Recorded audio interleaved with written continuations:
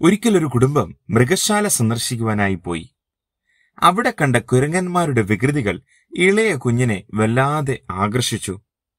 മറ്റു മൃഗങ്ങളെയും പക്ഷികളെയും കാണുവാനായി അവർ മുൻപോട്ട് നടന്നു. എങ്കിലും ആ കുഞ്ഞിന്റെ നോട്ടം കുരങ്ങന്മാരിൽ തന്നെയായിരുന്നു. വൈകിട്ട് അവർ വീട്ടിലെത്തി. സഹോദരി അവിടെ കണ്ട സിംഹത്തെക്കുറിച്ചും പക്ഷികളെക്കുറിച്ചും വാതോരാതെ സംസാരിച്ചുകൊണ്ടിരുന്നു. എന്നാൽ ഇളയ കുഞ്ഞിന് സംസാരിക്കാനുണ്ടായിരുന്നത് കുരങ്ങന്മാരെക്കുറിച്ച് മാത്രമായിരുന്നു. ഇന്നും അനേകർ ഈ ഇളയ കുഞ്ഞിനെ പോലെയാണ്.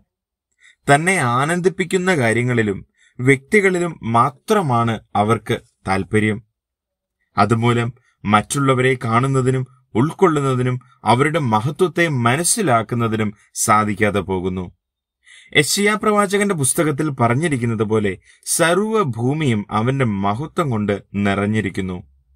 ആയതിനാൽ സകല മനുഷ്യരെയും ഒരുപോലെ കാണുവാനും കരുതുവാനും സ്നേഹിക്കുവാനും നമുക്ക് ഇടയാകണം.